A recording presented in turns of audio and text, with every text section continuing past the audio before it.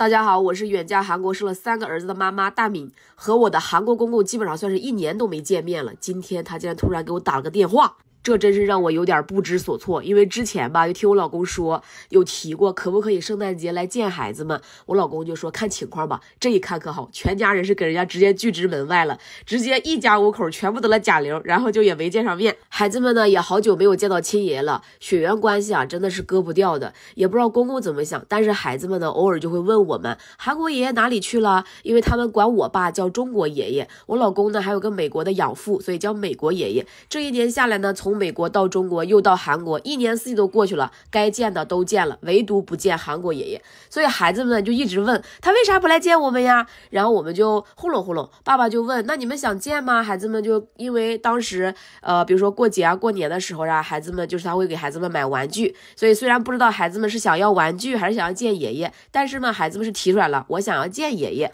当初呢，因为公公的一些行为嘛，我们就很生气。但是时间这个东西真的会冲淡一切。公公又知道了他有了另一个长孙，然后很多粉丝们留言跟我说：“哎呀，有长孙了，你千万不要搬家，还跟他隔开。”公公心里其实可能还是有孩子的。之前呢，因为我老公一直都没有松口，所以呢，他也没有给我打电话。今天呢，直接开了视频过来，孩子们就不认识爷爷了。爷爷就说：“哎呀，好久都没见到爷爷了吧？快给爷爷问好。”老大呢已经长大了，所以就直接问了好了。他还能记得爷爷的长相，但是老二的话，基本上可能就有点害羞啊，还是怎么着，就不认识了，躲得远远的。我就只好骗老二，我说：“你看，你要见韩国爷爷，他要给你买玩具，你赶紧问好啊。”然后这才老二才问了个好。公公看完孩子们，就赶紧问：“哎，你们什么时候有时间呀？带孩子出来？”我说：“孩子正好放假呢，但是现在下大雪，这两天韩国天气不咋好。然后我们的甲流吧还没好利索，都一个个愣愣的。我说等我们好利索了再出去见吧。”公公一听我们这甲流还没好，然后就赶紧说：“哎呀，那啥时候爸爸赶紧把参给你们送过去？你们得坚持吃，你们没给你们你都不吃，因为每次公公给我们的那种新鲜的参吧，就有点苦。”我们都吃不下去，他也没说啥，因为确实我们也好长时间都没见面，也没通话了，相互之间还是有点尴尬的。